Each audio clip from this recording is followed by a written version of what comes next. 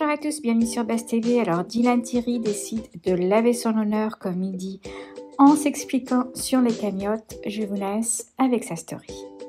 Salam alaikum les amis, j'espère que vous allez bien. Ça me fait bizarre de, de voir ma story et de vous parler parce que j'ai fait, c'était 11 jours où ça a été très compliqué là. Les 11 jours j'ai été, j'ai été malade.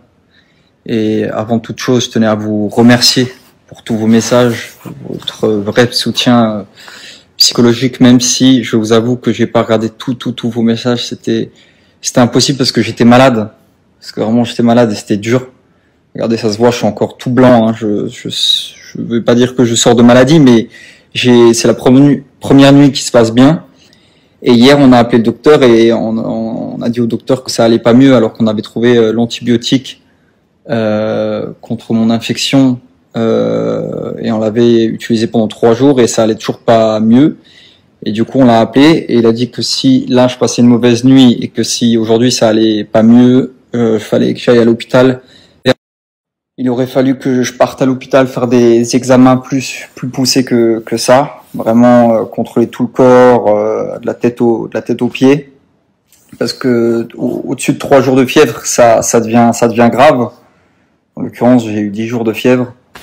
Euh, ouais, j'étais à 39,5 tous les jours. Pendant des périodes, j'avais très chaud. Euh, je transpirais vraiment. J'avais des gouttes d'eau sur les jambes, sur la tête, partout. Et, euh, et après, j'avais très froid, très très froid. J'étais euh, frileux, enfin frileux. J'étais frileux. J'avais froid. Je tremblais, euh, je caillais, je claquais des dents et tout. Alors qu'on est quand même à Dubaï. Et carrément, je me suis rendu compte pour la première fois que j'avais pas de chauffage, que je pouvais rien mettre de chaud. Et, euh, et voilà. En fait, quand j'y pense, il y a la clim qui, qui peut euh, sortir du, de la chaleur chaude, mais je l'ai pas fait. Mais euh, bref, j'avais très froid, très chaud, c'était très compliqué. Et comme on dit, quand on est malade, il y a, y a Allah qui pardonne nos péchés, il y a Allah qui est proche de nous. Alors j'espère que c'est le cas parce que euh, j'ai été en l'occurrence j'ai été très très malade et c'est vrai que quand tu es très malade comme ça tu t'attends au pire je sais pas j'étais j'étais tellement dans un sale état. En fait, ce qui était dur, c'est que c'était long. D'habitude, moi, je suis malade une fois par an et ça dure trois jours. Là, je suis tombé malade dix jours, dix jours, tous les jours, de pas pouvoir vous faire des stories. C'est que vraiment, j'étais dans un état laisse tomber, lamentable. Et euh, ouais, rien à faire. Je restais au lit, je mangeais pas, euh, voilà, jusqu'à ce que je sois obligé de manger euh, pour prendre le médicament. Genre, je me forçais à manger des bananes, c'était dur. Euh, le docteur il est venu à la maison, il a fait bien évidemment toutes les analyses et tout ça. Et euh, bref, voilà. En tout cas, je voulais vraiment vous remercier pour euh, pour vos messages. Ça va mieux, Dieu merci. Pour vos doigts, ceux qui ont fait des prières pour moi, merci aussi. Et et avant que que que je tombe malade ou euh, pendant que je suis malade, il y a eu beaucoup de de de, de bad buzz. Ça fait malheureusement partie du du jeu, j'ai envie de dire, quand t'es connu, ça fait comme ça, ça fait partie du truc. Et euh, et il y a un sujet sur lequel je me suis jamais jamais exprimé, et personnellement, pour être, honnête avec vous, je me serais jamais exprimé sur le sujet, c'est les cagnottes. Pourquoi je, je me serais jamais exprimé sur les cagnottes? Tout simplement parce que du moment que tu as euh, une, une association en France et que tu dois des comptes, tu dois des comptes à la France, et que tu dois lancer, tu dois donner un bilan chaque année, je ne vois pas pourquoi tu dois donner des, des comptes à euh, à des haters. Parce que encore une fois, c'est pas ma communauté qui demande des comptes, c'est des haters, des jaloux qui balancent des oh lui c'est un voleur, il vole des cagnottes. J'ai mis une casquette comme ça, ça tient mes cheveux.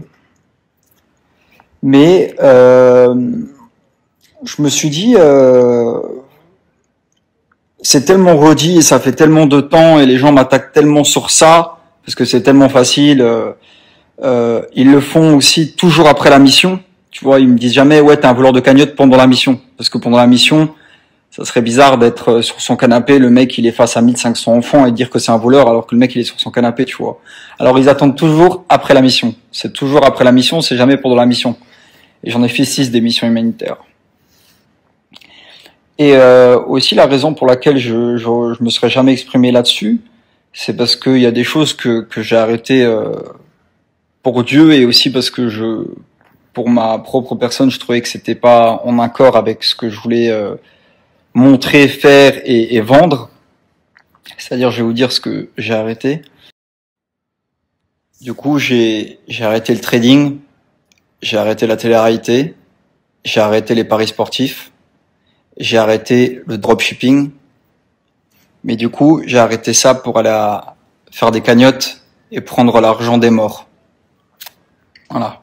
C'est d'après les dires des gens, j'arrêterai pas des gens. Hein. Je, on parle toujours des haters, des haineux ou, ou même peut-être qu'il y a des gens qui se posent des questions et, et je vais même pas dire des haters. D'après des dires, du coup, j'arrêterai ça. Et moi, je sais que j'arrête ça pour Dieu de base. Tu sais, le trading, euh, les paris sportifs, c'est c'est au même niveau que l'alcool. La télé-réalité, t'es dans une villa avec beaucoup de femmes et tout ça. Euh, le dropshipping, j'ai l'impression de prendre ma communauté pour des cons. Et c'est des choses qui rapportent beaucoup d'argent. Hein. J'ai pas besoin de vous faire un dessin, ça vous le savez. Mais du coup, j'irai à Madagascar voler des dons des gens pour m'enrichir. C'est quand même une dinguerie. Et, vous savez, moi, quand, quand les gens ou quand des sœurs me font des dons de pluie, par exemple, j'ai pas envie de citer cet exemple, mais c'est pour vous dire à quel point c'est grave. Mais il y a une maman qui m'a extrêmement touché parce que elle m'a fait un don de puits de 830 euros, de 830 euros parce qu'elle a perdu ses jumeaux. Ça veut dire que, ou ça me fait de la peine, ça veut dire que si cette maman, elle, elle entend ça, elle se dit, moi j'ai envoyé à Dylan 830 euros pour qu'il fasse un puits pour mes jumeaux, et ça se peut, il m'a volé mon argent. Dieu merci, cette maman a la confiance en moi, elle sait, mais si elle est naïve, elle peut se dire, ouais, Dylan, il a volé mon argent sur, sur les la mort de mes deux enfants. Je signe en enfer direct là, hein. la dinguerie de l'histoire. Et en fait, c'est pour ça que et c'est aussi pour cette raison-là que, que je m'exprime. C'est parce qu'en fait, euh, derrière, euh, derrière moi, il y a aussi des donateurs, il y a des mères de famille, il y a la vice-présidente de l'association, il y a la trésorière et la secrétaire de l'association, il y a les avocates de l'association, il y a, il y a mes proches. Et euh, je pense que ça, c'est très bien que je m'exprime. Ça va arriver par la suite. Hein par rapport aux cagnottes, par rapport au montant de la cagnotte. Et c'est pour toutes ces petites choses-là que je me suis dit, OK, je vais m'exprimer. Il y a un bilan, je dois des comptes à, à mon association en France. D'ailleurs, je gère pas la paperasse, il y, a, il y a une secrétaire qui est là pour ça. Mais euh, les bilans sont faits, tout est réglé, tous les mails sont traités à la, à la, à la seconde. Là, vous envoyez un mail à l'association, vous allez répondre dans, le, dans les minutes qui suivent. Ça veut dire que voilà pourquoi je m'exprime. J'ai parfois la, la, la, la, mauvaise habitude de dire on m'envoie. Alors que moi, on m'envoie rien à moi personnellement. À moi, on m'envoie rien. On envoie sur le compte de l'association, sur la cagnotte ou sur le compte de l'association. Moi, personnellement, personne ne m'envoie rien. Mais vu que les gens, vu que je parle de moi et tout ça, je dis qu'on m'envoie, mais on m'envoie pas à moi. On envoie à mon association, pardon.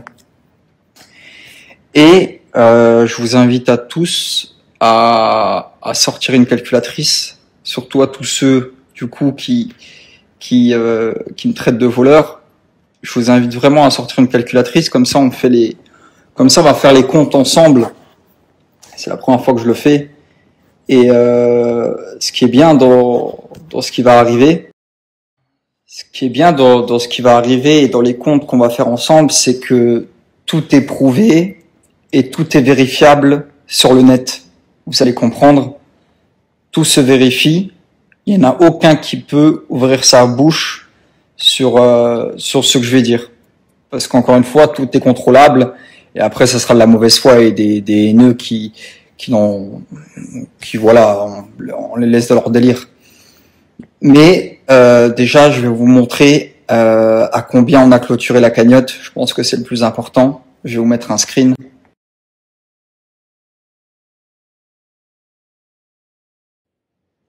Je tiens d'abord à,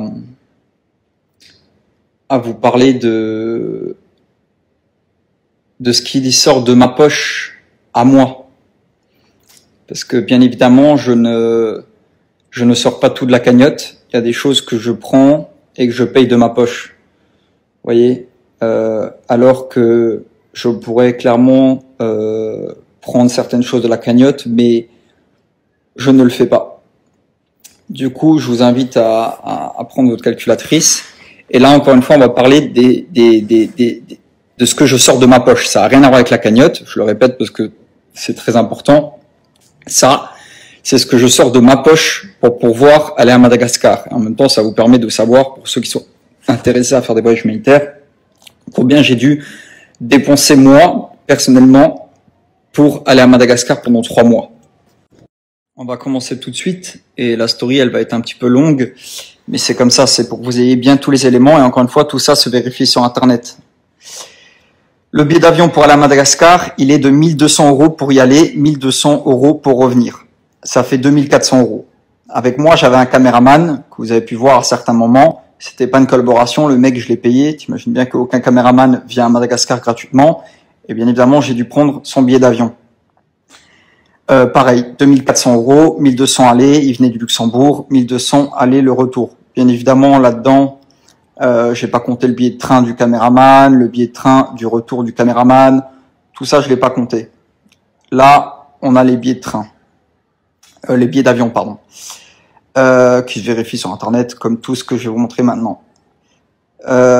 Du coup, moi, j'arrive dans le nord de, de, Madagascar. Je suis dans le nord de Madagascar et ma mission est et euh, ma mission, comme vous le savez, était dans le fin fond du sud de Madagascar. Pour aller dans le sud de Madagascar, le billet d'avion, c'est le même prix depuis 10 ans. Euh, du nord de Madagascar au sud de Madagascar, le billet d'avion est à 200 euros. Tu comptes Dylan, Romain, Romain c'était mon guide, euh, il parlait français et c'est lui qui parlait du coup avec tous les malgaches et il traduisait. Il a été là durant tout le voyage. Du coup, 200 euros Dylan, 200 euros Romain et 200 euros le caméraman. Ça fait 600 euros. Du coup, tu rajoutes plus 600 euros, 600 euros, pardon, et tu mets le retour. Parce qu'il y aura le retour, à un moment donné, il va falloir retourner. Du coup, tu rajoutes encore 600 euros. Parce que l'aller, c'est 200 euros, le retour, c'est 200 euros. Vous pouvez regarder sur Internet, c'est le même prix depuis 10 ans. Du coup, tu, bah, tu rajoutes les 1200 euros, hein, les 1200 euros, les 1200 euros sur ta calculatrice. Et au milieu du voyage, euh, j'en ai la preuve et ceux qui m'ont suivi durant le voyage le savent. Avec Romain, on doit aller faire des papiers importants pour l'association et on est dans le sud et on va retourner à Tana dans le nord. Ça va nous coûter à chacun 200 euros. Ça fait 400 euros plus le retour parce qu'on va rester deux jours à Tana dans le nord et on va revenir dans le sud. Ça fait euh, encore une fois 400 euros. Ça fait au total 800 euros. Euh, au milieu du voyage, on va partir à deux, là-bas, et on va revenir à 2, ça fait 2, 4, 6, 8, vous l'avez compris, plus 800 euros, vous pouvez rajouter. Le caméraman, pendant un mois à Madagascar, où il risquait sa vie dans le dixième pays le plus pauvre du monde, dixième pays le plus pauvre du monde, il m'a demandé seulement 5000 euros. Normalement, 5000 euros, euh, c'est ce que certains payent pour... Euh, normalement, pour une euh, petite vidéo YouTube ou une petite vidéo sur Instagram avec des effets et tout ça, ça coûte déjà 3-4 000 balles. Ça veut dire que moi, il, m'a accompagné un mois à Madagascar pour 5000 euros. Ensuite, il en a pour à peu près deux mois et demi de montage parce qu'il y a des rushs de fou. Euh, il y a des rushs, il, a, il a beaucoup filmé. Et le montage, il m'a demandé 3000 euros. C'est-à-dire qu'au total, le caméraman, il m'a coûté 8000 euros. J'aurais pu, vous, j'aurais pu vous dire beaucoup plus, mais je vous donne le prix exact que je l'ai payé. Euh, sachant que il est venu aussi en, mode Dylan, euh, ok je taffe, mais si je te fais ce prix-là, c'est parce que tu fais des belles choses, tu fais un voyage humanitaire et c'est pour ça que je descends mon prix à ce prix-là, parce que sinon j'aurais payé euh, x 10 euh, ou en tout cas x 4 minimum, tu vois. Ensuite, ici, quand je suis pas là, le loyer, je le paye, quoi qu'il arrive. C'est-à-dire que j'ai un loyer à payer je pars pendant trois mois, les trois mois de loyer, je dois les payer. Et euh, n'oubliez pas de cliquer sur votre calculatrice en mode euh, plus 8000 euros pour que vous ayez bien le montant. Mais de toute façon, tout ça, cette story, je la mettrai à la une, que tout le monde puisse bien la voir, qu'elle fasse bien le tour avec euh, tous ceux qui ont eu euh, des propos très sales à, mon égard. Mais la suite arrive. Mon loyer, vous pouvez regarder sur internet, je suis à Albahari, hein, tout le monde connaît le quartier. C'est un appartement de deux chambres, il est à 6500 euros le loyer. Euh, c'est des choses malheureusement que j'ai pas envie de dire, hein, mais c'est des choses que on m'oblige à dire. Et c'est pour ça que euh, aujourd'hui je m'exprime une bonne fois pour toutes, et je le ferai qu'une fois. 6500 euros x 3, parce que je suis parti trois mois à Madagascar, ça fait 19 500 euros. Voilà. Ensuite, euh, il y a l'argent que je donne à ma mère tous les mois, que j'aimerais garder pour moi, parce que ça c'est personnel, et c'est la seule chose que je vous dirai pas. Ensuite, euh, il y a le fait que je fasse zéro placement. Ça, les gens ils l'oublient, ils l'oublient, pardon. Mais je pars à Madagascar trois mois et je fais euh, pas d'argent, zéro. Ça veut dire que moi, quand je pars à Madagascar, je, je perds de l'argent. Ouais, si on parle que d'argent, j'en perds. Du coup, zéro placement de produit pour Dylan Thierry à Madagascar. Le chauffeur par jour, c'est-à-dire la voiture, on est toujours sur mes fonds personnels. Hein le chauffeur plus la voiture, euh, c'est-à-dire la voiture, le 4x4 que vous avez vu, le bleu, plus le chauffeur, Eddie, par jour, il m'a coûté 30 euros. Vous pouvez regarder sur Internet, euh, vous ne trouvez pas un chauffeur avec une voiture en, moins, en dessous de 45 euros, 50 euros, vous ne trouvez pas. Tu fais 30 euros fois 85 jours, ça fait 2550 euros que vous rajoutez sur euh, la calculatrice, enfin sur euh, voilà. Euh, j'ai ce prix-là et je vous le dis alors que je pourrais vous dire euh, le prix que tout le monde paye. Hein. J'ai ce prix-là parce que vu que j'ai déjà fait une fois Madagascar et qu'il savait, il savait que je venais pour minimum un mois, il m'a arrangé au niveau du prix. Il y a Romain. Romain, c'est mon guide et euh, comme comme mon chauffeur, hein, mais chauffeur il parlait pas trop bien français, il avait la voiture en plus. C'est des gens qui sont H24 avec moi. Hein. C'est bah, du coup 85 jours, 85 jours. C'est pas ils partent le soir, non. Euh, Romain, il habite dans le, dans le nord. Et dit il habitait euh, à Tular, c'est au milieu de Madagascar. Là, on est au fin fond du sud. Romain, par jour, il me coûtait 20 euros. Euh, il m'arrangeait bien parce qu'il savait aussi ce que j'allais faire à Madagascar. Normalement, Romain, pour un guide comme ça qui parle français et tout, il prend au moins 45 euros avec euh, des étrangers, des vasas comme moi. Mais moi, il me faisait 20 euros, 20 euros par jour. C'était un vrai ami. Et du coup, 20 euros fois 85 jours, ça fait 1700 euros. Ensuite, il y a l'essence. Vous pouvez regarder sur Internet l'essence de, de, de, Madagascar. Il est à plus d'un euro le litre. C'est très très cher un pays aussi pauvre. Euh, le litre, il est à un euro et, et 10 centimes, un truc comme ça, je sais pas exactement. Moi, au total, je sais que j'ai gaspillé beaucoup plus que ça, mais j'ai marqué euh, 1600 euros d'essence. Genre, j'aurais payé 1600 euros d'essence, sachant que je suis sûr et certain que j'ai payé plus que ça mais on va parler au minimum, comme ça les gens pourront rien dire.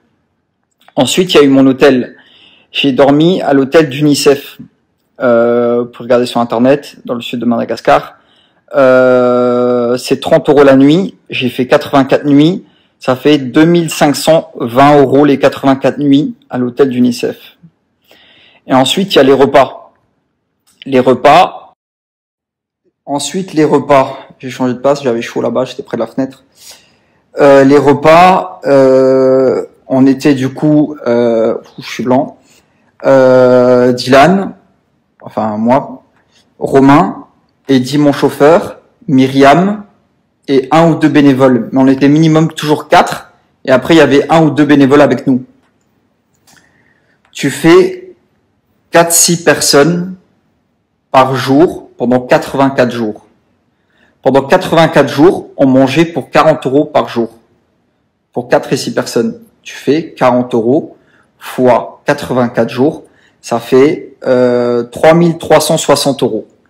Voilà, ça c'est ce qu'on mangeait. On mangeait pour 40 euros par jour. À peu près, on était entre 4 et 6, 6 personnes à manger. Ça nous coûtait à peu près 40 euros, sûrement un petit peu plus, mais c'est pas grave. Pendant 84 jours, ça fait 3360, 3360 euros. Là-dedans, euh, il manque des milliers de trucs, hein, comme je l'ai dit. Euh, il y a plein de trucs euh, personnels que, que j'ai oublié de mettre. Mais si vous avez le même total que moi, on est à 46 030 euros. 46 030 30 euros pour euh, trois mois de voyage à Madagascar.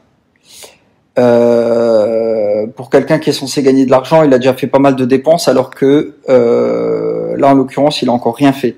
C'est-à-dire que là, j'ai même pas donné encore ne serait-ce qu'une soupe à un enfant, que sur mes frais personnels, j'en ai déjà, Je suis déjà à moins 46 030 euros. Là, personne ne peut rien dire sur ce que j'ai dit parce que tout est vérifiable et c'est ce que, bah, c'est ce qui j'ai payé pour Madagascar. Du coup, voilà. Maintenant, on va parler de la cagnotte. Mais là, voilà, mes frais personnels, on est à moins 46 030 euros. Si jamais il y a des gens qui pourraient chipoter, sachez que dedans, il y a pas l'hébergement de 85 jours de mes deux chauffeurs, enfin de Romain euh, de, de, mon autre chauffeur. Il n'y a pas euh, les, logements euh, chez UNICEF des bénévoles. Il y a plein de trucs que j'ai pas notés alors que ça aurait pu encore augmenter mes frais personnels. Mais je veux pas non plus en faire trop. Et mais voilà, là il y a la base. Il y a les trucs qui sont 100% vérifiables. Euh, parce que par exemple les, les hôtels de, euh, de, de, Romain et de Eddie mon chauffeur ils, tu pouvais pas les trouver sur internet. Mais euh, il y a plein de trucs qui, qui sont pas notés. Mais pour un mec qui, qui, qui, qui est censé à Madagascar gagner de l'argent la stratégie n'est pas très bonne hein. mais on continue on va parler maintenant de la, de la cagnotte.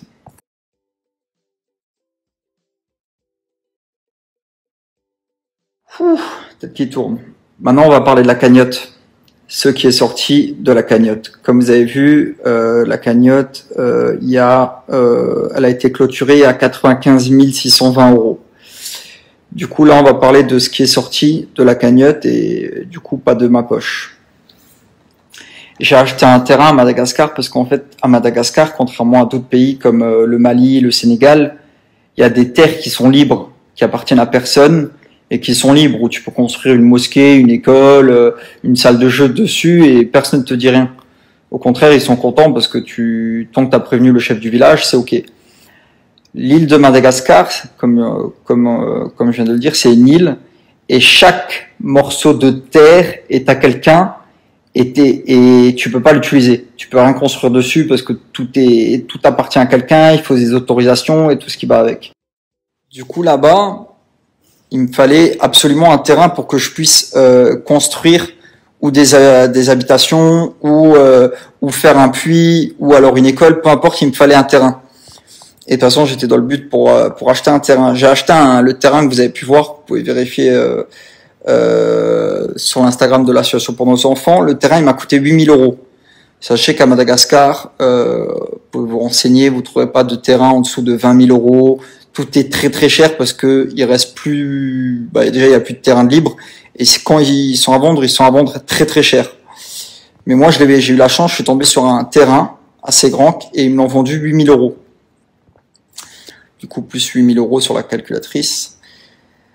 Pendant 84, pendant 84 jours, pendant 84 jours, je vais donner avec mon équipe à manger à 1000, entre 1000 et 1500 personnes tous les jours. Tout le monde l'a vu. Il y, a, il tout sur le compte de l'association pour nos enfants. Tous les jours, on donnait à manger, on faisait une distribution de repas entre 1000 et 1500 personnes. Des fois, il y en avait plus, mais on reste toujours dans le minimum. Comme ça, personne ne peut rien, rien me reprocher par rapport à mes dires. 84 000 repas ont été distribués à 50 centimes le repas ça fait 42 000 euros. Tu rajoutes 42 000 euros sur la calculatrice. 84 000 repas à 50 centimes, on a calculé au minimum, sachant que c'est beaucoup plus que ça. Il y a des sacs de riz qui ont été distribués à tout va, il y a de l'argent qui a été distribué, il y a euh... et pour parler du repas, euh, il y avait toujours un gâteau le matin, du jus le matin. Le repas c'était toujours du riz, de la viande et des légumes et ils avaient toujours un dessert, c'était une banane. Euh, comment je peux être sûr de moi qu'il y avait euh, plus de 1000 enfants? C'est parce qu'en fait, par exemple, pour j'achetais 600 bananes, les 600 bananes, on les coupait en deux, et à la fin du repas, euh, bah, du coup, il y avait même pas assez de bananes. Alors qu'au total, il y avait 1200 bananes. Vu que acheté 600 bananes coupées en deux, ça fait 1200. À la fin, il n'y avait pas assez de bananes. Ça veut dire qu'on sait qu'il y avait toujours plus de 1000 enfants. Et euh, là-dedans, quand je compte les 42 000 euros, je compte pas les sacs de riz que je distribue à des grands-mères, à des familles, euh, à gauche, à droite, les trucs que j'ai achetés dans les rues et tout ça, parce que voilà, j'ai fait un global, j'ai dit voilà, on compte au minimum 42 000 euros euh, de repas aux enfants. Faut pas oublier que vous êtes dans un pays où il y a la famine Et du coup, les enfants avaient faim, les parents avaient faim, les grands-mères avaient faim. Et c'est là où l'argent partait le plus, c'était de la nourriture parce que c'était tout le temps, tout le temps, tout le temps. Tout le temps non-stop. La nourriture, c'était tout le temps, tous les jours, chaque seconde, chaque... Euh, dès qu'il y avait un moment, on achetait à manger pour des enfants. C'est normal en même temps. On est là pour ça. Enfin, quand on est à Madagascar, on est là pour ça. La grande maison. Ouais, j'ai construit, enfin, j'ai... Ils ont construit une grande maison pour euh, pour l'association, pour faire des habitats, des euh, pour euh, faire vivre des, des gens dedans. La grande maison, elle m'a coûté 20 000 euros. Euh, on est sur l'île de Madagascar. Si les gens connaissent un petit peu l'Afrique, c'est le prix de, de chaque maison béton comme ça, c'est le prix partout, c'est à peu près pareil. Et, et je sais qu'elle m'a coûté plus que ça. Ensuite, j'ai fait, euh, enfin j'ai fait, pardon, excusez-moi de parler comme ça. Ils ont fait et euh, moi j'étais juste, euh, j'apportais juste ma pierre à l'édifice. Euh, quatre petites maisons sur le terrain, c'est toujours sur le terrain que qu'on a acheté. Euh, quatre, quatre petites maisons euh, à 12 000 euros. C'était 3 000 euros chaque petite maison. Il y en avait quatre, 3 000 euros, 3 000 euros, 3 000 euros, 3 000 euros. Euh, ça m'a coûté plus que ça, mais je parle toujours au minimum. C'est comme la grande maison, je sais qu'elle m'a coûté euh, plus que ça, mais j'ai parlé au minimum, comme ça les gens peuvent absolument rien dire. Là, je vais vous montrer les, les quatre petites maisons à 12 000 euros, 3 000 euros chaque petite maison.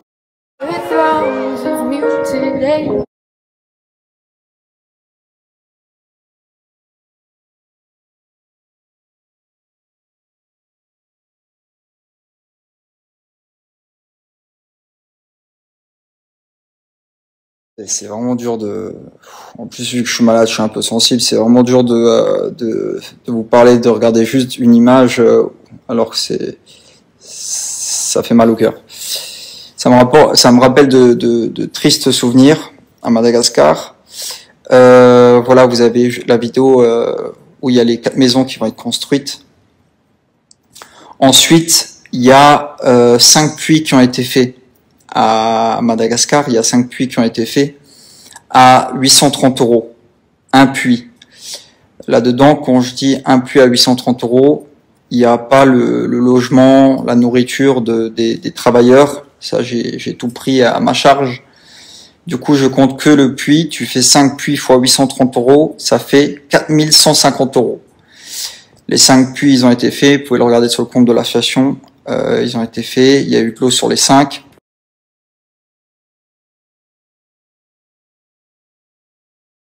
Le flyer que je vous ai partagé euh, juste avant là, c'est euh, c'est que vous comprenez bien que euh, le prix des 830 euros, c'est pas moi qui l'ai décidé. C'est moi, je suis passé par quelqu'un qui m'a envoyé des gars à lui, et les gars-là prenaient 830 euros pour faire un puits. Et n'oubliez pas qu'on parle des puits dans le sud de Madagascar. C'est important parce que dans le nord de Madagascar, un puits, comme vous pouvez le voir sur l'affiche juste avant, euh, coûte 225 euros ou 250 euros. Voilà. Mais dans le, dans le sud de Madagascar, c'est 830 euros. C'est-à-dire que ces prix-là, c'est pas moi qui les ai décidés. Bref, je pense que vous avez rajouté les, les 5 puits à 830 euros, ça fait 4150 euros. Ensuite, j'ai acheté 30, 34 matelas. 34 matelas à 30 euros, ça fait 1020 euros. Les matelas, vous les avez vus, je les ai distribués. Ensuite, ensuite, euh, il y a 12 autres puits qui ont été financés 12 autres puits à 830 euros qui ont été financés, qui n'ont pas été faits, que je dois encore faire. Euh, 9960 euros. Du coup, vous rajoutez moins, enfin, vous mettez, vous, diminuez, enfin, vous rajoutez sur la cagnotte 9960 euros. C'est 12 puits qui ont été financés, que je dois encore faire. Ensuite, il y a la balançoire. La balançoire, elle m'a coûté 750 euros.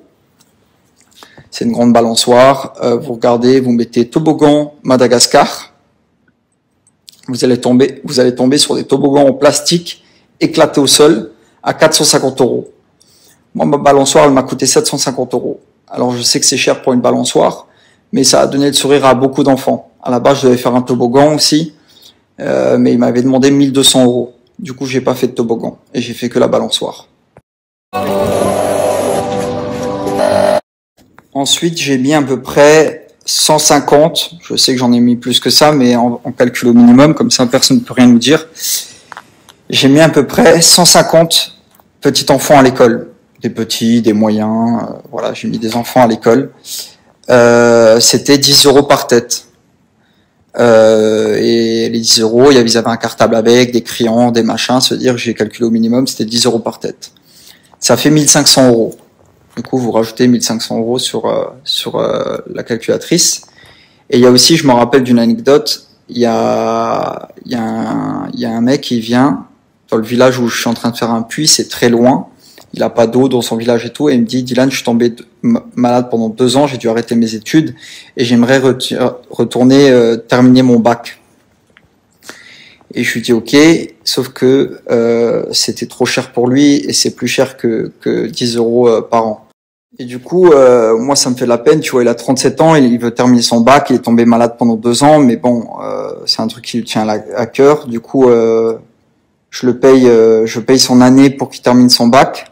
Je lui paye un an de, de, de, lycée ou d'université, je sais pas c'était quoi exactement. Et vu qu'il était à deux heures de son école, il me dit Dylan, tu peux me trouver un logement plus près. Je lui paye un an de loyer aussi pour qu'il soit quitte de marcher deux heures aller, deux heures retour. Bref, c'est des petites anecdotes qu'on a fait comme ça. Il y a un autre, euh, il voulait faire médecin. Et euh, il me dit Dylan, j'aimerais euh, terminer mes études de médecin, de, de médecine. Euh, c'est très cher, j'ai pas les moyens. Je lui dis ok, c'est pas grave. Je lui dis bah viens je vais chez le directeur euh, où, où, tu peux justement apprendre la médecine et tout ça, ou, à devenir futur docteur, et je paye un an, pareil. Et euh, le mec, les larmes aux yeux, machin, merci Dylan, euh, tu sais pas ce que tu as fait pour moi et tout ça. Et je lui dis, écoute, la prochaine fois, ou si un jour, il y a une mère de famille qui vient pour que tu soignes son enfant, et qu'elle n'a pas les moyens pour que tu soignes son enfant, tu soigneras cet enfant et tu, tu le feras pour moi. Tu, tu soigneras cet enfant pour moi. C'est comme ça que tu me remercieras. Et le mec, il avait les larmes aux yeux, il était trop content et tout ça. Mais moi, quand je mets cet ce, ce, mec médecin ou je fais en sorte qu'il devienne docteur ou autre ou, ou juste euh, infirmier ou je ne sais quoi, c'est que pour lui, pour que lui, par la suite, aide des enfants ou des gens et tout ça, je pense comme ça, moi. Bref. Euh, ensuite, il y a eu des médicaments, des hôpitaux. J'ai fait accoucher euh, euh, une femme aussi qui avait besoin de, faire sortir son enfant. Pour ceux qui ont suivi l'histoire, ils le, savent.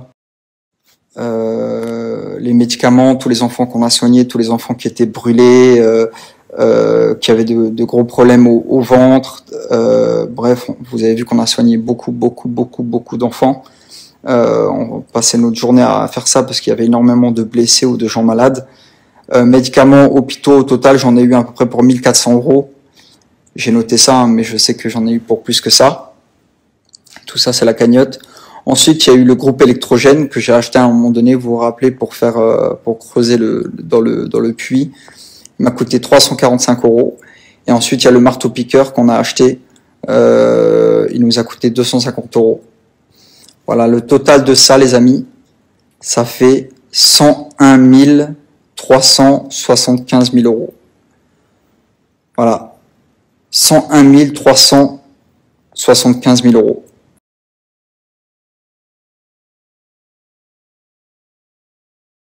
Là-dedans, dans la cagnotte, euh, il manque plein de trucs. Il manque euh, des habits, plein d'habits qu'on a payés, que vous avez pu voir, des chaussures qu'on a payées. Euh, il manque plein de trucs encore que, que j'ai pas dû compter.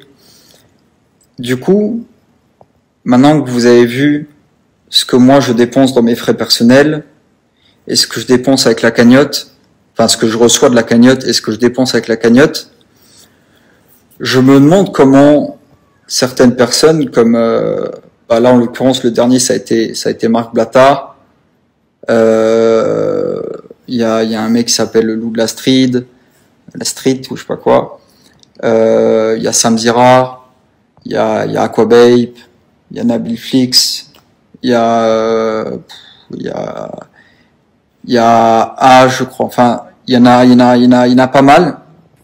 Et je me, je sais pas comment je me sentirais à leur place euh, de, de, de dénigrer quelqu'un comme ça de le traiter aux yeux de tout le monde de, de, de voleur, et en plus de voleur de cagnotte, tu vois, c'est vraiment le pire, voleur de cagnotte, j'ai l'impression qu'il n'y a pas pire au monde. Euh, voleur de cagnotte. C'est-à-dire que je, je, je, je me demande maintenant comment ils se sentent, et si certains auront la force d'admettre, parce que là, avec les preuves qu'il y, a, a devant leurs yeux, ils peuvent euh, malheureusement rien dire, s'ils pourront admettre et, euh, s'excuser ou du moins, du moins euh, retirer, leur, retirer leurs paroles. Parce qu'à la limite, si j'avais rien dit, je, me serais tué, ils auraient pu continuer. Mais là, le fait que je me sois exprimé, quand vous dites que je vole des cagnottes, vous parlez de quelle cagnotte? Parce que là, je vous parle de, de, de, de, la dernière. Vous parlez de quoi exactement? Alors maintenant, je me demande lequel de eux va revenir en arrière par rapport à ses propos. Parce que on m'a demandé que je m'exprime. On me l'a demandé. C'est un truc que j'ai jamais voulu faire parce que quand tu fais une bonne action, déjà que j'en montre beaucoup, c'est pas pour dire non plus euh, chacune de mes dépenses. Tu vois, ça fait euh, le mec il exagère quand même. Il le fait pour Dieu ou il le fait pour euh, le montrer au monde. Tu vois, ça veut dire que moi j'en montre déjà beaucoup. J'aurais jamais voulu montrer ce que je vous ai montré là. C'est personnel ça le fait que ça sorte de ma poche, que ça c'est personnel, qu'il y a ça, ça, ça, ça. C'est, j'en montre trop là. Mais là, c'est parce que j'ai dû m'exprimer et éteindre certaines rumeurs, parce que ça allait beaucoup trop loin et les gens se permettaient de dire n'importe quoi alors qu'ils sont sur leur canapé, alors que moi je risque ma vie pendant trois mois à l'autre bout du monde. Du coup, ouais, en l'occurrence, c'est vraiment injuste, mais euh, on va voir maintenant les amis, en tout cas, n'hésitez pas euh, à partager la story. N'hésitez pas à la partager parce que souvent, par exemple, il y a quelqu'un il quelqu'un qui m'apprécie, qui me soutient, et euh, et j'ai quelqu'un de son entourage qui m'apprécie pas ou qui me prend pour un voleur par rapport à des dires de certains. N'hésitez pas à lui envoyer la, la story. Euh, ça lave un peu mon honneur vous savez, j'ai tellement été critiqué, je me suis tellement jamais exprimé sur les cagnottes. Là, c'est la première fois que je le fais. Je tiens à ce qu'elle soit euh, bien partagée comme il faut. Du coup, partagez-la euh, avec tous ceux qui ont eu un doute à mon égard. Ça lavera un peu, ça lavera un peu mon honneur.